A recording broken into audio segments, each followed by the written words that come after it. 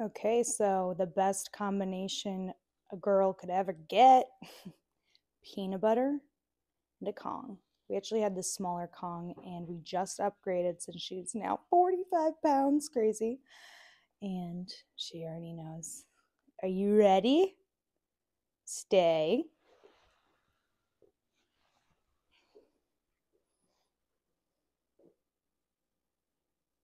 Okay. Okay. Her release word, she's still kind of learning. There we go. The paw. You know it's getting serious when the paw goes on top. She's holding it down.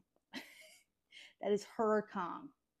I'm in love with the Kong brand. I think it's great. Everything we've gotten is durable. Even her, all the stuffed animals, they're so worth it.